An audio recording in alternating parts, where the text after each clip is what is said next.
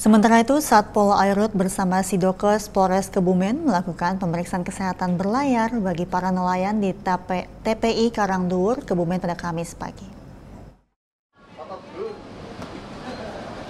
Kapolres Kebumen AKBP Reki melalui Kasih Humas AKP Heru Sanyoto mengatakan, pemeriksaan kesehatan dilakukan untuk mengetahui kondisi kesehatan para nelayan sehingga lebih maksimal ketika sedang bekerja mencari ikan di laut. Pemeriksaan kesehatan yang dilakukan berupa pemeriksaan dasar, yakni tensi tekanan darah hingga kolesterol pengecekan kesehatan uh, terhadap para nelayan yang mana kesehatan tersebut kami pengecekan dari kolesterol, tensi, serta gula darah.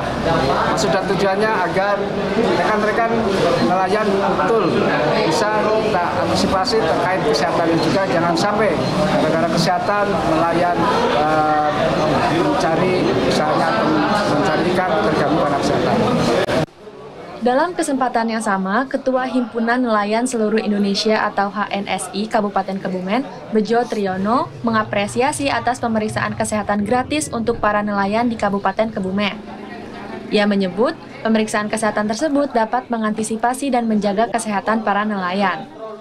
Pemerintah melalui Polres Kebumen yang sudah eh, melaksanakan cek kesehatan terhadap uh, anggota kita, bahkan luas masyarakat di Kabupaten Kebumen khususnya terkait dengan ini saya mendukung sekali dan harapannya agar uh, cek berkelanjutan ini harus bisa bergilir anu mengantisipasi hal-hal yang uh, terkait dengan kesehatan uh, pada nelayan bahkan kepada masyarakat secara umum.